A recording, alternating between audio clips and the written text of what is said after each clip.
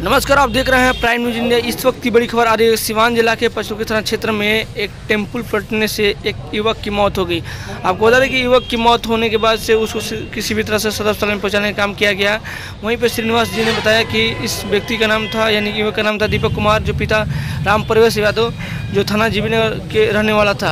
आपको बता दें कि इस तरह घटना लगातार बढ़ रही है। इस पर जिला प्रशासन किस तरह की कार्रवाई करेगी, आने वाले वक्त में आप देख रहे हैं। हमारे टीम आपको लगातार खबरें दिखाती रहेगी। आप चैनल को सब्सक्राइब कीजिए, लाइक कीजिए, कमेंट कीजिए।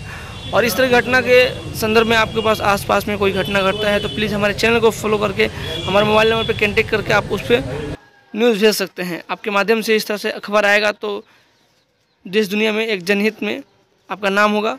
So friends please support me thank you guys